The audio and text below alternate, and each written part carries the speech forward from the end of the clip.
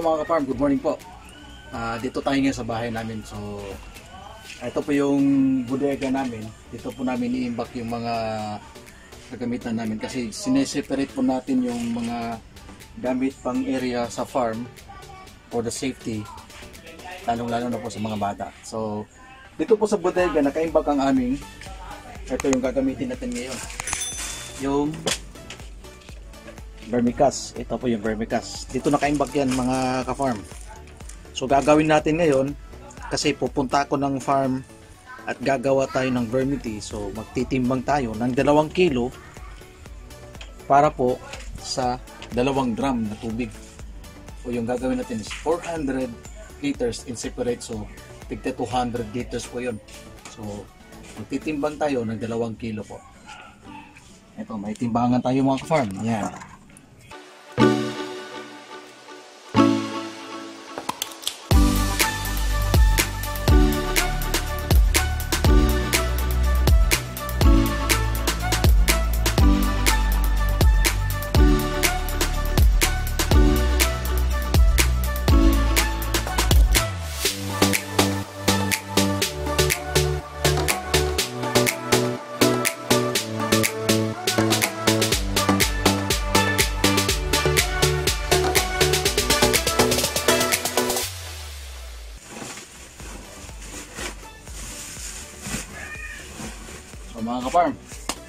Let's go to the area.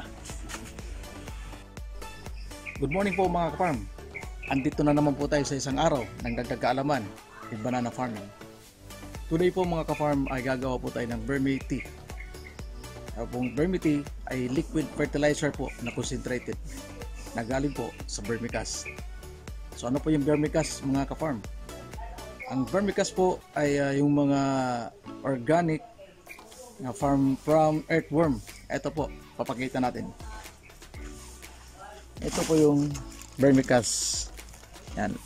An earthworm manure. So, ang iba pong gawa nito is from the leftover.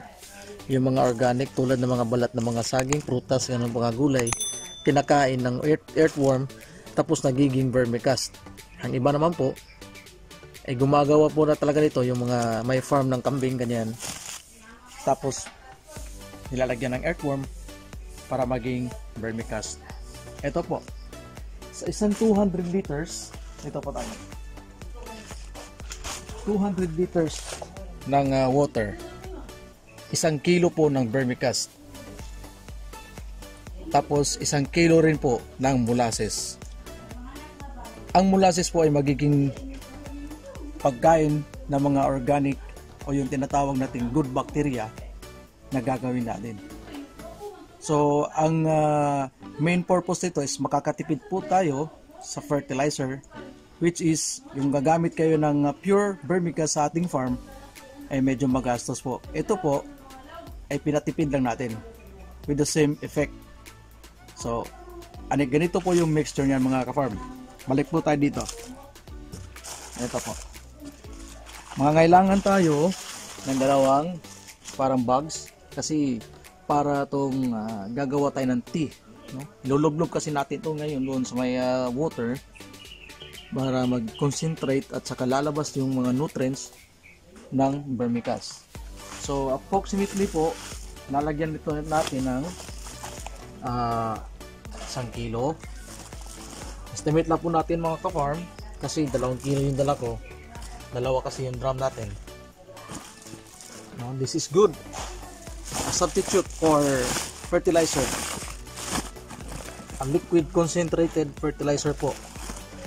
Galing ng vermicast para maging tea. Yan. Ubos na natin to. This is pure organic po mga ka-farm. Maganda po sa farm to. Yan After that, isi-seal na natin to. Yan. Dapat po nakalumlub do sa tubig. Uh, for the purpose na lalabas yung mga nutrients ng vermicast. Dito po. Dito po naghanda tayo ng pantali. Ito po, magiging silbi ng uh, ganyang control. Tatalian natin yan. Dapat po kasi mga kaparm nakalugdog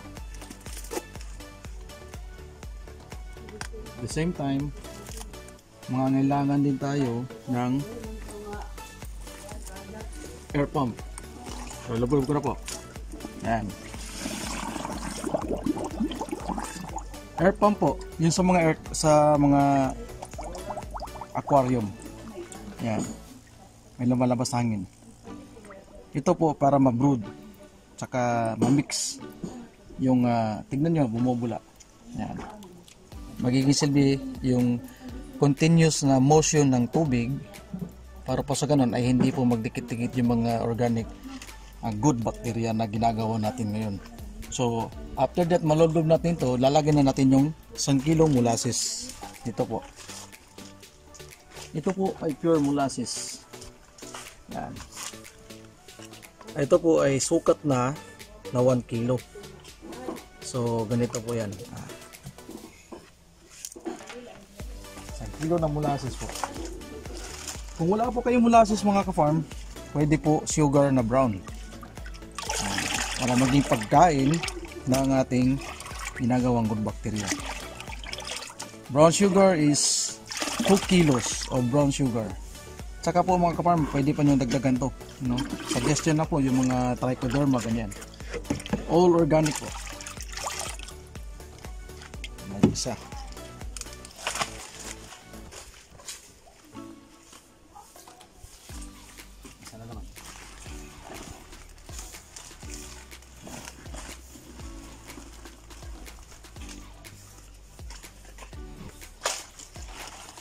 Three days po ang fermentation nito. After 3 days po, magagamit na natin to. Mag-iiba po yung kulay nito. Tsaka medyo may amoy po kasi lumalabas na yung tunay na amoy ng vermicast. Pero maganda po ito. Effective po mga ka-farm. Yan, lulublob natin.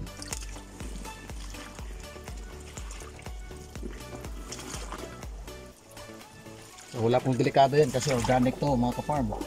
No chemicals at all. Ayan. Safe po yan.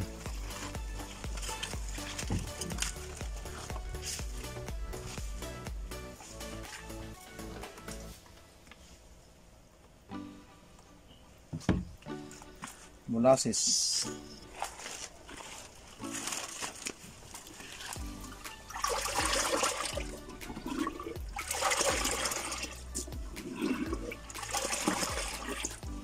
Ang pag-apply po nito mga ka-farm, pwede po idilig.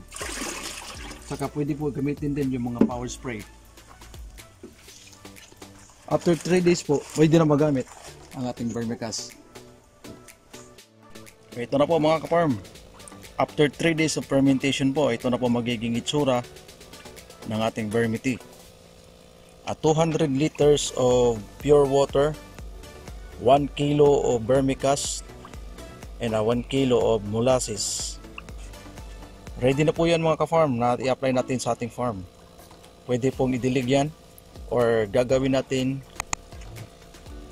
gagamit tayo ng uh, power spray and i-spray natin the to the body or the soda steam of uh, banana.